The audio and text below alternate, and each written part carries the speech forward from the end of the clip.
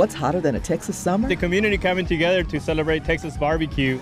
It's an unbeatable combination Texas barbecue and music. Texas barbecue is the best barbecue in America, just saying. The Lone Star Barbecue and Music Festival featured barbecue chefs from all over North Texas. The farthest one came from Lindale, Texas. They brought the sizzle. Good old Texas prime brisket for you right there, brother. And the bands brought the party. We built a big tribute band party for this Texas-sized barbecue party, you know. So we got LaFreak, we got the M80s, we have Lone Star Skinner, we have Leo Hull, Alex Aguilar, Farron Gilbert, and Texas Flood just went off. With great music as a backdrop, attendees sampled all kinds of barbecue deliciousness.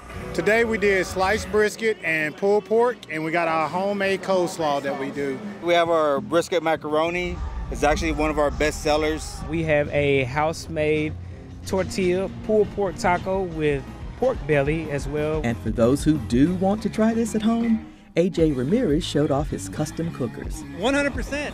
So basically, what I do is I custom fab everything that we're using out here, plus the show equipment. Organizers Murlin Graham, John Louder, and Lazaro Alvarez hope this event will lay the foundation for more to come. Here to make sure that the community has a good time.